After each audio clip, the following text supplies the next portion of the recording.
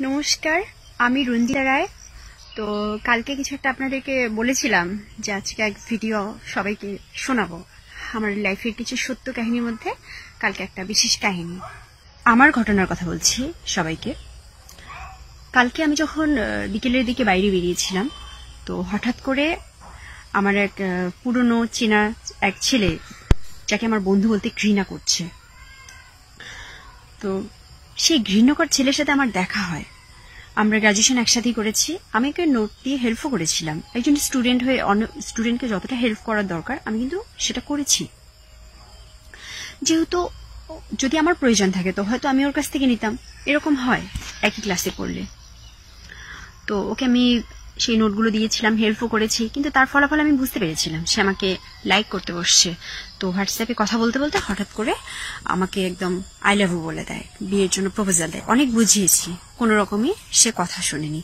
পরে বাধ্য হয়েছি তাকে ব্লক করে দিতে। কাল যখন হঠাৎ দেখা হলো, সে আবার আমাকে প্রপোজ করেছে। বিয়ে করবে বলে। আমি অনেক বুঝিয়েছি, সে কিছুতেই বুঝতে যাচ্ছিল না। তখন আমি ওকে সোজা বলেছি, দেখ, এতে তোর বাড়িতেও অশান্তি, আমার বাড়িতেও অশান্তি। আমার বাবা মা কোনোদিন মানবে না, তোর বাবা মাও মানবে না। আমি জানি ওর বাবা মা মানবে, কারণ হয়ে যায় ওগুলো, আমি জানি এই ব্যাপারগুলো। তো ও বলছে, আমার বাবা মার কোনো প্রবলেম নেই।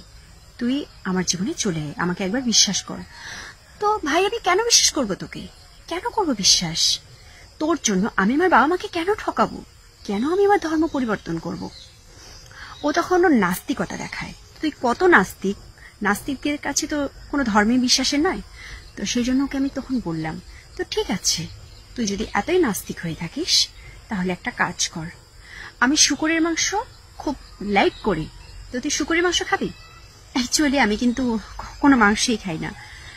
তো ওকে বললাম যে, তুই শুকরের মাংস খাবি? আমি রান্না করে নিয়ে আসব। তোকে কিন্তু খেতে হবে।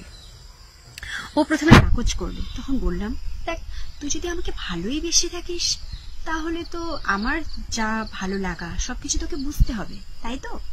তো ঠিক আছে, আমি শুকুরের মাংস নিয়ে আসব, রান্না করে তুই খাবি। তুই বল, কীরকম খাবি? ফ্রাই খাবি, ঝোল খাবি? এভরিথিং, যেভাবে বল, সেভাবে নিয়ে আসব। তোকে শুকুরের মাংস খেতে হবে। তো বলল আচ্ছা ঠিক আছে, সেটা বিয়ের পর। আমি সোজা বলে দিয়েছি, বিয়ের পর নয়, ওটা বিয়ের আগে তোকে খেতে হবে। তারপর সে শুকুরের মাংস খেতে রাজি হলো কিন্তু। তারপর বললাম, ঠিক আছে, রাজি তো হলি। শুকুরের মাংস কিন্তু সত্যি সত্যি তোকে আমি নিয়ে এসে খাওয়াবো। তখন কিন্তু না না বলতে পারবি না। কারণ যদি না না বলিস, তোকে জোর করে খাওয়াবো, প্লাস বিয়েও করব না। তারপর ও কীরকম একটা ভাব করে বসল। তখন আমি ওকে বললাম, দেখ, তোর জন্য আমি আমার ধর্ম, আমি আমার প্যারেন্টসকে কখনোই কষ্ট দেব না, ত্যাগও করব না।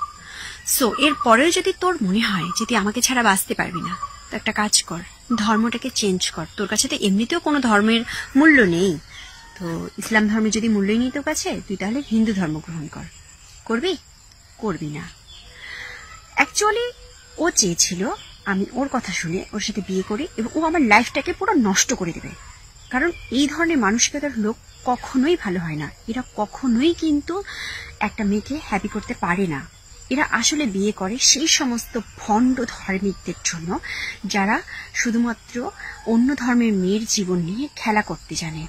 নিয়ে যেত আমাকে, কিছুদিন আমাকে ইউজ করত, তারপর ছুঁড়ে ফেলাই দিত। ও ভাবতে এতে ওর বাহাত্তরটা হুর পাবে। ওই যে আছে, ওদের একটা ভুল কথা বা জান্নাতবাসী হবে।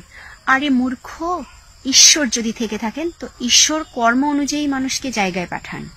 এভাবে কারও জীবন নষ্ট করে কখনো স্বর্গে যাওয়া যায় না। তোমার কর্মই বলে দেবে, তুমি কোথায় থাকবে।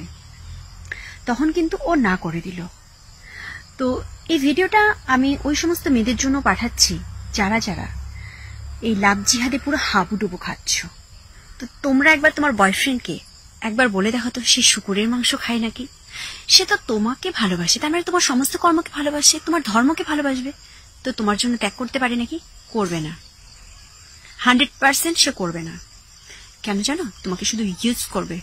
অর্থাৎ তুমি নিজে ওর কাছে একটা কি জানো? ইউজ মি যেমন ডাস্টবিনগুলো থাকে ইউজ মি সেই সমস্ত হিন্দু মেয়েদের কাছে আমি কড়া বার্তা দিচ্ছি। তোমরাও না সেই ইউজ মি আর তোমাদেরকে সেটাই করা হবে। চিন্তা করো না। ওই যে নোংরা করা হবে, তারপর সেটাকে ফেলায় দেওয়া হবে। এখনও সময় আছে। হিন্দু ছেলের অভাব নেই। নিজ ধর্মে ফিরে এসো, ধর্ম অনুযায়ী বিয়ে করো। বিয়েটা কখনো অন্য ধর্মের ছেলের সাথে তোমরা করে সুখী হবে না। কারণ বাবা মা এতে কষ্ট পাবে। আর বাবা মায়ের প্রত্যেকটা চোখের জলের মূল্য তোমাকে কোনোদিন ক্ষমা করবে না। ঈশ্বরও ক্ষমা করবে না। আল্লাহ গড যেটাই বলো না কেন, সৃষ্টিকর্তা কোনোদিন তোমাকে ক্ষমা করবে না। সো নমস্কার। আমি বলে এখানে শেষ করছি।